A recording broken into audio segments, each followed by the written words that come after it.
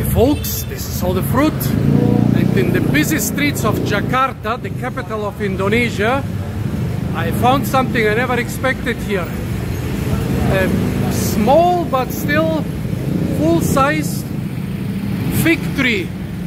Look at this. This is a two-story house, a small two-story house, but still a two-story house.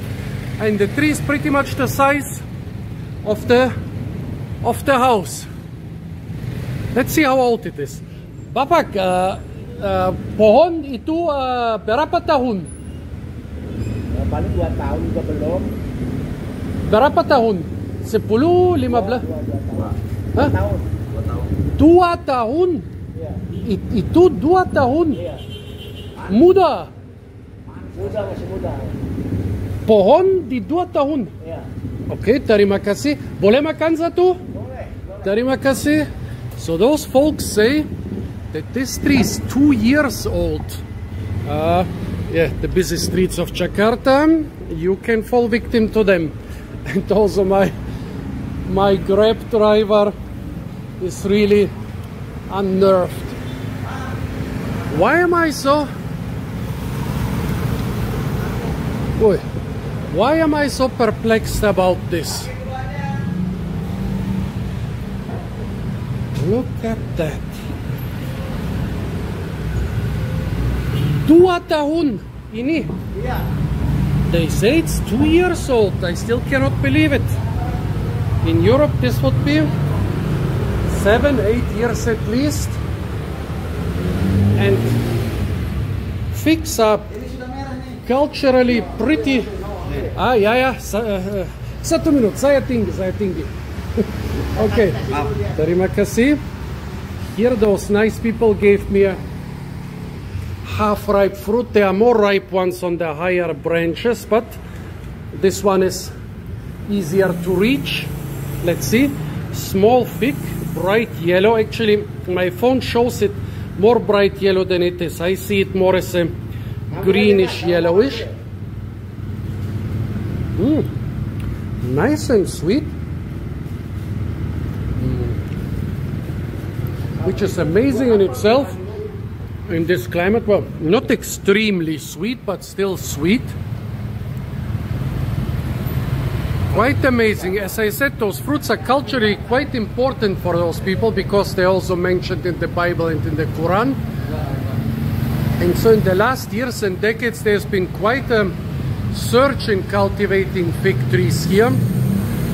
They like to cultivate culturally significant fruit trees here. For example, around the mosques, you will often see date palms, which are not the desert date palm that Muhammad was familiar with, but like more rainforest date palms. But for them, it's important to have date palms. Here, by the way, this is also a date palm. Yeah, definitely a, a date palm. And it's not one of the typical rainforest date palms I know about here. Very greenish leaves. In the Mediterranean, I would have said this is definitely a Phoenix canariensis, but down here the trunk doesn't look like Phoenix canariensis, but amazing. So this guy also has a date palm here. But I don't know what species of date palm, but the fig tree is much more amazing because the only fig trees I've seen around here, they're usually kept in pots. Well, they're very rare, by the way.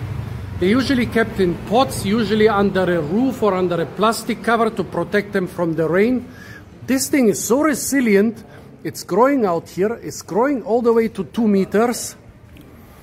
And it's producing, well, it's producing fruits of acceptable quality. It looks nice and healthy. Never seen anything like this. Well, actually, there is one near my, uh, there is one near my um, homestay, and they, oh, this nice guy now went to the to the second floor.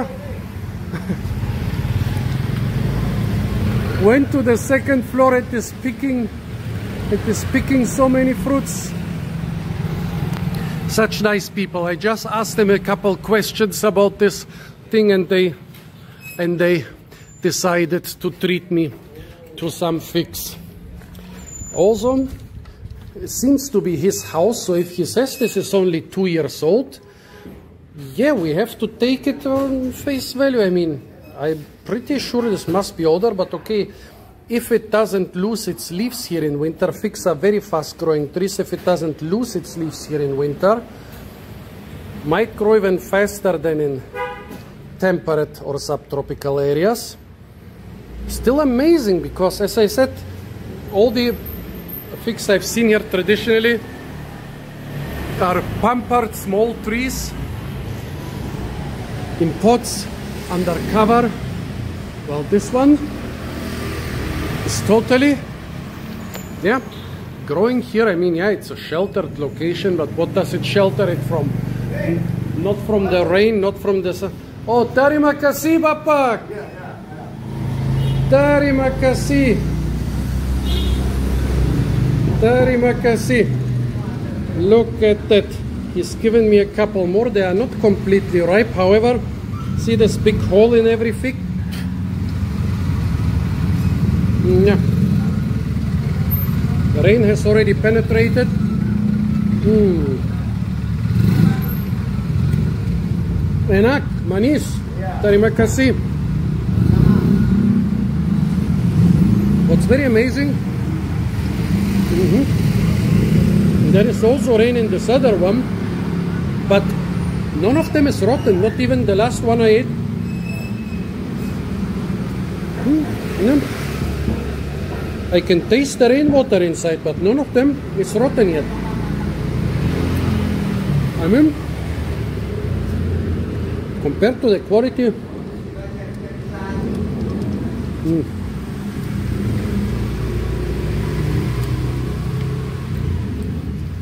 of mangoes or other fruits around here, I would say this is not a top quality fruit and not even a top quality fig, but it's a decent quality fig. So I really have to, we really have to applaud to this guy for managing to grow this fig to this size in an area where, yeah, there are hundreds of wild fig species in Indonesia, but this one, this one is not intended to grow here. Pohon baik, pohon bagus. Ya. Terima kasih Bapak. Sama-sama, sama-sama. Selamat siang. Near my homestay there is another fig tree, slightly smaller than the first one, but not so much smaller, definitely well over 4 meters. Also not ripe right now. It's full of fruits, but not ripe. Uh, the leaves don't look so healthy, but uh, remember those are deciduous trees. Uh, this species, Ficus carica, is deciduous. So, um, yeah, it's possible that this tree is totally healthy, but just uh, being kind of semi-deciduous, uh, going to lose its leaves pretty soon. And again, it's growing here without much additional protection, surrounded by those sandbags. I wonder, ah, they are from some construction. Oh, the little kid is so scared. Beautiful tree. Okay, let's leave the little kid alone. By the way, I talked uh, a little bit more to the owner and he said it's from the Middle East. When I asked from where, from Saudi Arabia, uh, I don't know if he, he wanted uh, to say that he has brought this tree himself from Saudi Arabia, that basically that's where it comes from, from the Middle East from the Eastern Mediterranean. Not so sure about that. Here, by the way, American fox grapes, another temperate plant, very frost hardy, which was adapted to the uh, to the tropical climate of lowland Java. And they, eh, I mean, they look healthy enough and they are fruiting. And on the way here, I found, I, I saw a six meter high, very healthy looking olive tree in a garden, but I didn't want to um, to stop my driver again. He was a little bit unnerved. Yeah, I gave him a big tip. Don't worry. So yeah, it, it's so amazing. Those people, just like us, we in the cold temperate areas, we also want figs, olives, palms, and so. on. But some species we are struggling to introduce. For example, in Germany slash Central Europe, like the Mediterranean fig, the uh, also the olive tree, date palms, and so here in the tropical lowland climate of Jakarta, they are also attempting, and with some success, to introduce them. So folks, those were the figs and a little bit about grapes and olives in the lowlands tropical city of Java, uh, of uh, Jakarta in Java. Stay tuned for a lot more fruit videos from the beautiful and incredibly fruit-rich city of Java, by the way, the second largest metropolitan area in the world.